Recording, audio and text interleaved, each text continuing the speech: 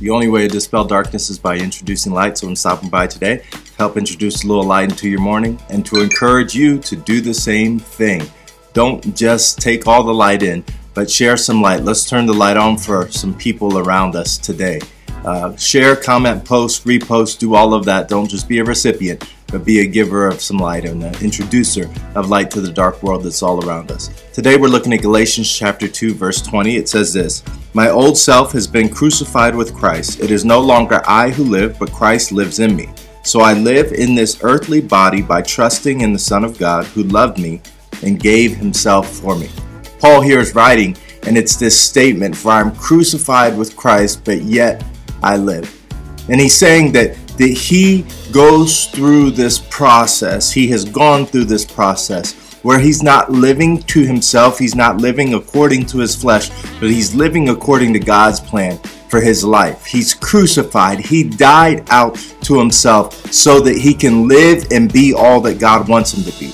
The life that is promised to us is one that is greater than we are fully aware of. It is one that is greater than where we currently find ourselves. But the only way to obtain that life that Christ has for us, that God has for us, that He gave Himself in order to prepare for us, is by dying out to His purpose.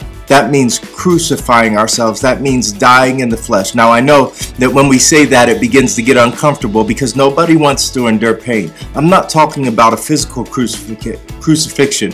However, I am talking about dying out to our way of seeing things, our way of doing things, our belief system on things in order to embrace His way of doing things, His way of seeing things, His belief system on things.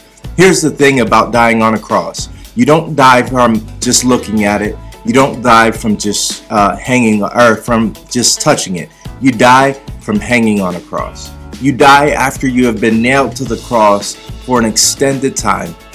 After uh, you are unable to continue to breathe. The crucifixion on a cross is not a uh, easy one. It is a painful one.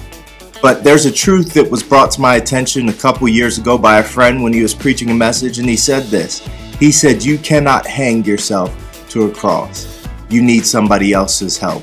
Why? Because I could put a nail in this hand, I could put a nail in my feet, but I'm going to reach a point where I have to let go of the hammer and somebody else has to come along and put that nail in my hand that is now the only one available. Here is what dying, being crucified with Christ looks like. It looks like enduring things from people that we may not want to but it's for a greater purpose. Today, I'm not saying that you should be anyone's beating case or, or whipping post, but I am saying this.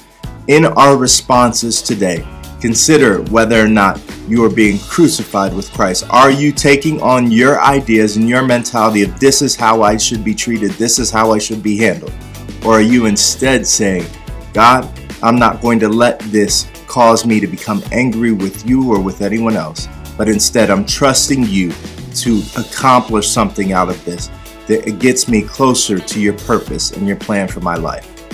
Be encouraged today. Let me turn the light on for you.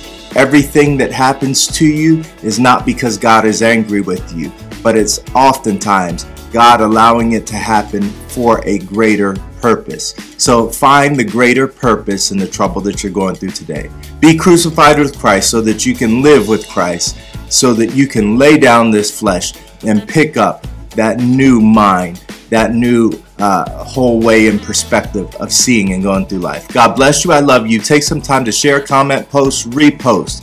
Don't just keep this to yourself. God bless you. Love you. Have a wonderful day.